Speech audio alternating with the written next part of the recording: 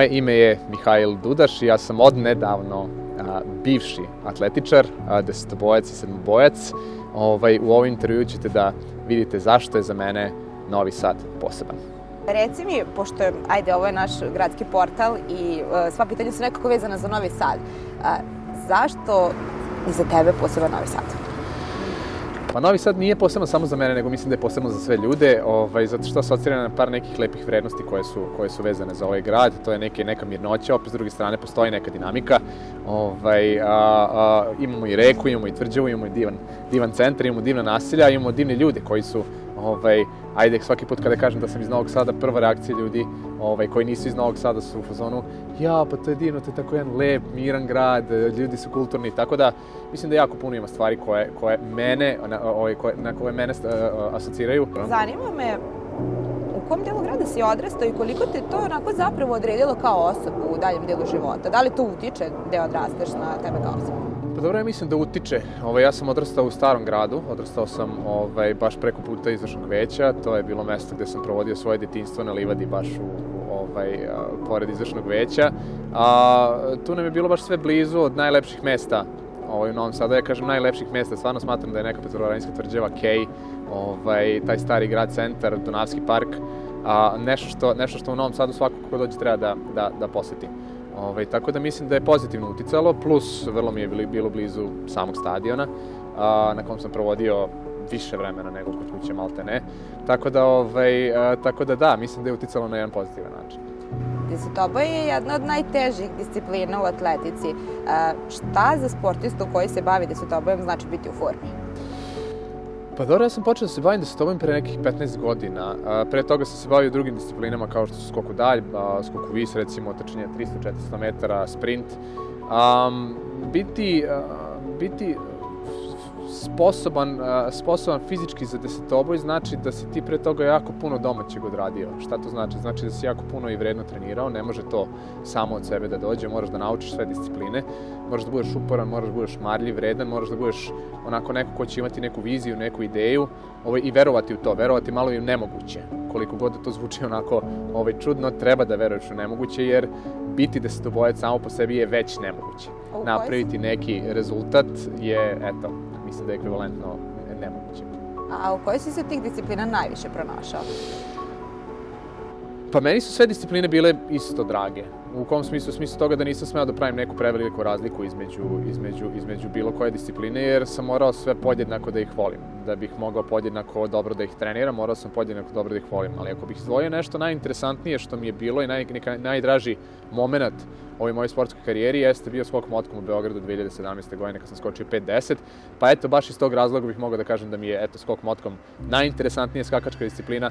A od bacalja, ba, bacanja to mi je onako bilo uvek interesantan ba, ne, interesantno bacanje diska, tako da ajde, izdvojio bih, izdvojio bih te dve discipline.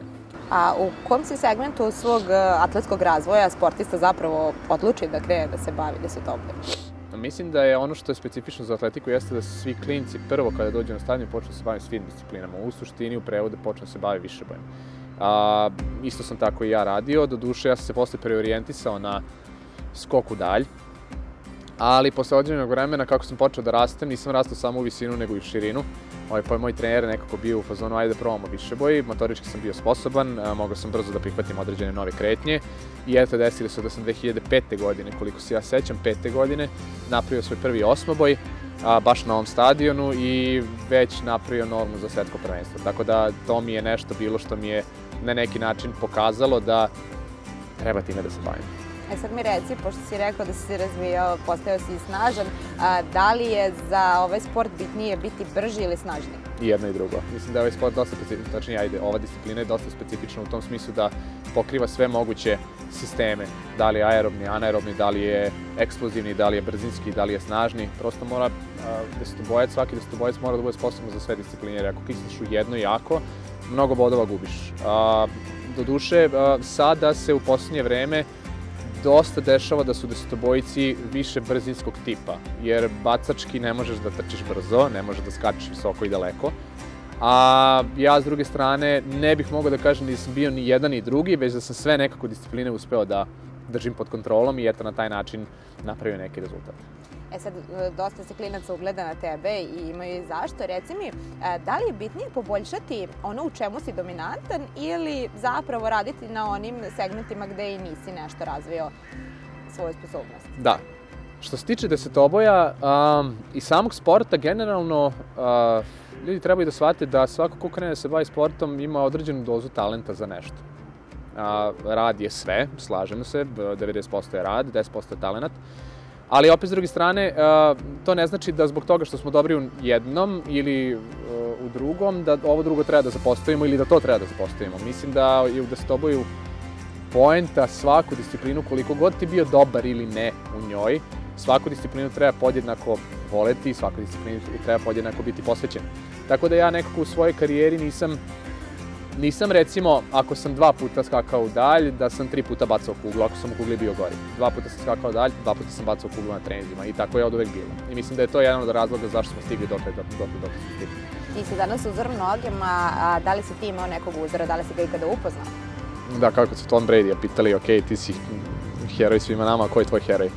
A, da, imao sam razne sportiste koji su mi bili interesantni. Nikad nisam imao idola. A, iz kog razloga? Verovatno kad sam bio klinac sam shvatio da ako budem imao idola i sad krenem da se takmičem sa njim, kako sad uklopiti te dve stvari. Ove, ovaj, imao sam puno respekta prema desetobojcima koji su bili aktuelni u vreme kada sam ja počinjao da budem desetobojac ili atletičar. To su bili Roman Šeberle, Dvoržak, to je bio ovaj, Brian Clay, to su bili to, mislim, prosto postojali su sportisti koji su mi bili na neki način uzor, ali nikad nisam njih veličao i stavljao u nebesa i u zvezde iz prostog razloga što sam ja jednog dana želeo da budem kao i oni. Ovaj, I nisam smeo sebi da dozvolim da, je toliko, da im toliko kredibiliteta, kredibiliteta da. I eto za kraj, e, najnovija vest jeste ta da si stavio tačku na svoju profesionalnu karijeru. To je jedan od razloga zašto smo ovako brzo želeli da napravimo intervju s tobom. E, reci mi šta je dovelo do toga i šta zapravo planiraš sad? Mislim da je stavljanje tačke na moju karijeru došlo potpuno nekim prirodnim putem. Ipak se ja bavim atletikom 25 godina, bavim se 15 godina disciplinom koja je vrlo zahtevna, a i pored toga što je vrlo zahtevna, ona puno kažnjava, mislim, na telo, čak i psihički u nekim momentima, ako se ne uradi onako kako smo zamislili, da recimo spremamo se šest meseci za jedan taj desetoboj, dođe desetoboj, ne prođe dobro, onako to je na neki način poražavajuće. Ovaj, mislim da je ta odluka došla potpuno prirodno, jer sam ja i prošle godine ovaj, upisao master na, na, na, na studijama u, u Velikoj Britaniji na UCL, University College London. Ovaj, to mi je omogućilo čini stipendija, ovaj, stipendija engleske ambasade i već sam tada počeo da razmišljam o tome šta me čeka nakon karijere. Već sam razvio par nekih projekata kojima želim da se bavim sad, malo pa neću sada da počnem da ih razvijam, to ide u, u, u super, super tempu super toku.